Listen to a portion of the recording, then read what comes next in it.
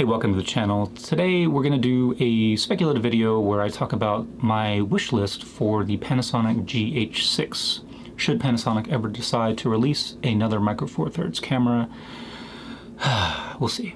When the GH5 released in 2017 and then the GH5S released in 2018, those cameras had a significant competitive advantage in terms of specs and features, um, that really competed with much higher end professional video cameras than did other mirrorless cameras. However, like I mentioned in my previous video, some full frame cameras have in, in essence caught up to what the GH5 offers in terms of professional features.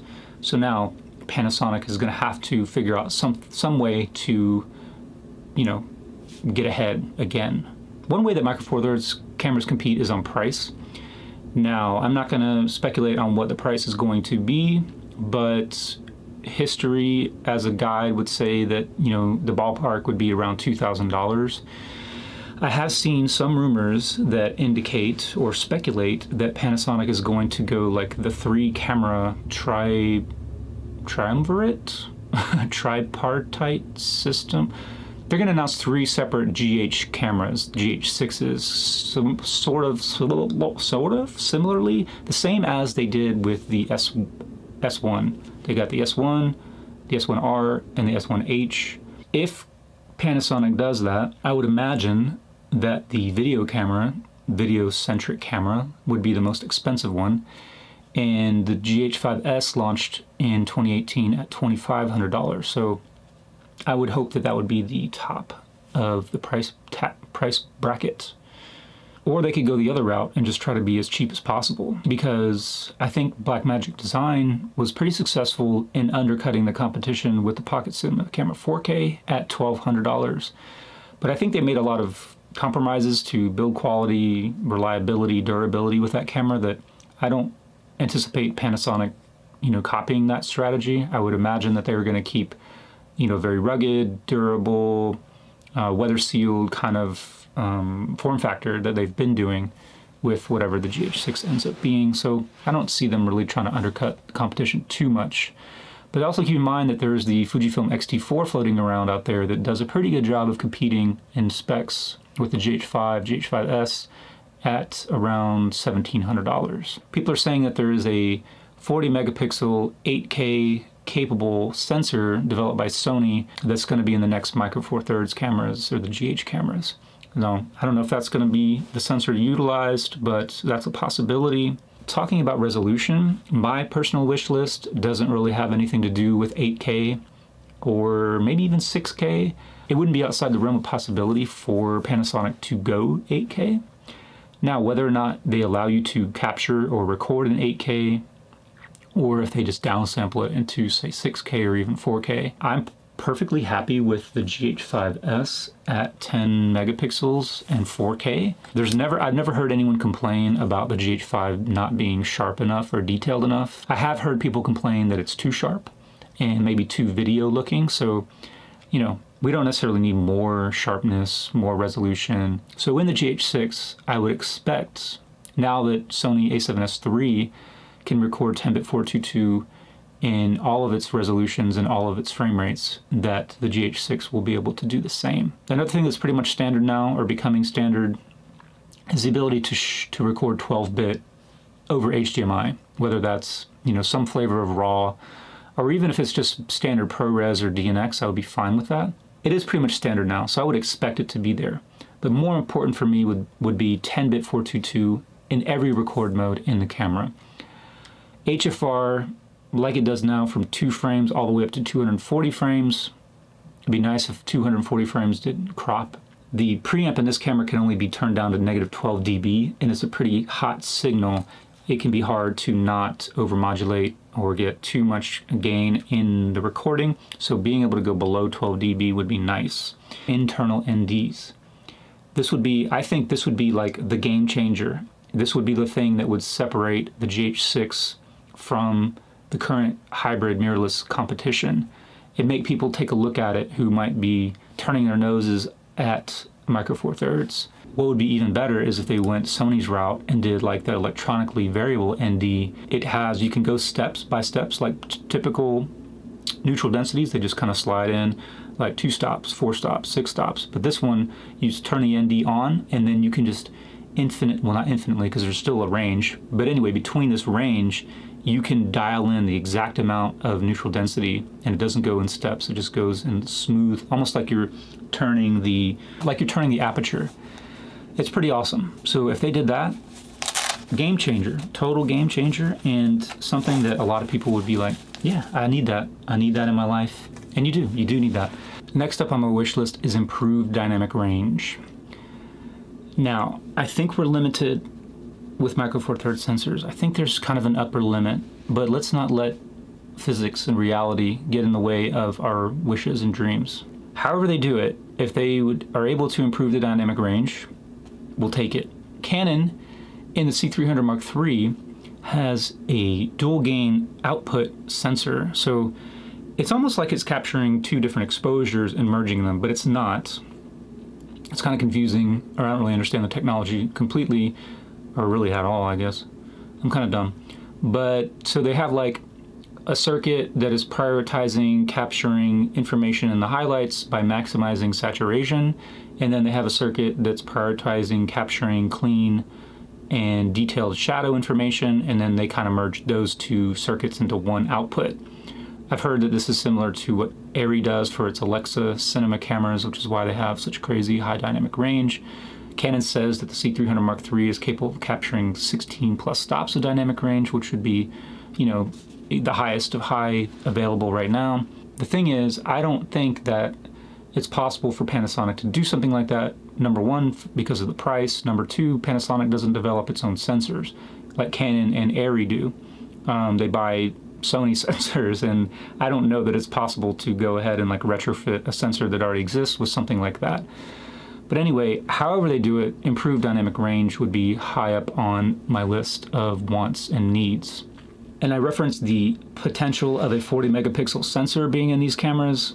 Now that gives me um, a little bit of concern because higher megapixel cameras tend to have worse high ISO performance, perform worse in low light. A small micro four thirds sensor with 40 megapixels I think would perform even worse comparatively speaking to you know a full frame high megapixel sensor in low light high ISO categories. So I would prioritize having a cleaner signal, better low light performance, better high ISO performance over 40 megapixels. Like for instance, the GH5S is only a 10.2 megapixel sensor and it's plenty sharp enough for me. And the low light performance is pretty damn good for a Micro Four Thirds camera. If they could keep the dual gain ISO of the GH5S in the new camera, let's do it. Let's have a clean low ISO and a clean high ISO circuit, and that way we can maximize our cleanliness. Going along with the dynamic range, let's go ahead and put the full V-Log in there instead of the V-Log L. I do think that Panasonic, if these cameras were capable of capturing the full dynamic range that's capable in V-Log, they would have done it. They probably said, you know, it can't capture all of that, so let's go ahead and make a V-Log L. But anyway, we're dreaming here. Let's make a sensor that can capture more dynamic range and then go ahead and throw in the V-Log. Did you know you can load LUTs in here? Custom LUTs to monitor right on the camera. And it's a little bit of a process because it has to be in a very specific format. Um, if you've ever worked with LUTs, um, a common format is a dot cube, um, but these are not dot cube. It's something proprietary to Panasonic, I believe. And there is like a, a way to convert them, but it's like if you don't know that, um, take some searching in the Googles to figure that out. But anyway, other things, I think you can just upload dot cubes and, and it works fine. So they could simplify that process. Keep the multi-aspect ratio sensor of the GH5S. So if you didn't know, GH5S has a slightly wider sensor than other Micro Four Thirds cameras do. You can see it in here. You can tell it's wider just by looking at this with no frame of reference. But what it allows for is capturing in both 17 by 9 and 16 by 9 without cropping the sensor. So it's able to capture the full width and the full height depending on which aspect ratio it's in. Whereas with like the GH5 vanilla version, when you go to 16 by 9, it's basically cropping slightly a little 16 by 9 box out of the out of the full sensor, whereas this camera doesn't crop it at all. and you get a slightly wider field of view. So instead of the usual two times micro four thirds crop, you get something more like a 1.8 to 1.9 times crop. Not much, but it's like a 10% difference. So that's nice. Let's keep that. Let's do that again. This is definitely something that's way out from left field, and I don't think it's probably possible given the form factor constraints. But what would be cool is if we had a side loading battery door. And I mean, only because you don't have to take the camera off of the tripod or off of your gimbal to swap batteries. It's a small thing, but we're doing a wish list here. And last but not least, and it pretty much goes without saying, which is why I haven't mentioned it up until now, is improved autofocus. Of course, I'm sure Panasonic is working on that, and they're probably going to stick with their contrast-based autofocus and used AI algorithms to really fine-tune it and improve it and make it more intuitive and make it smarter, whatever. But we need better autofocus, Panasonic. We don't. We need it to latch on to our faces and then stop looking at the background, stop shifting and hunting. Just stay, just stick with something. Just pick something, even if you pick the wrong thing, just stick with it. You know, stick to your guns. That's important. And I think that's it, man. It's really not much. I really think, you know, they got to stay in the ballpark with price. They come come in lower, that'd be amazing. They really need to go internal NDs because how else are you going to differentiate the camera from the competition?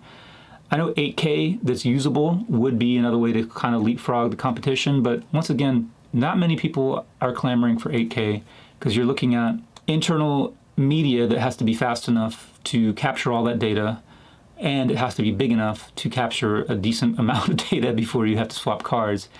And then you have to offload that media onto your computer, hard drives, which are going to be filling up quickly with all of that data. So anyway, it, but it is nice because, of course, most of the time you're not going to be outputting in 8K, but the ability to crop in four times and still get 4K out of that, that's pretty cool. Or crop in eight times and get 1080 out of that.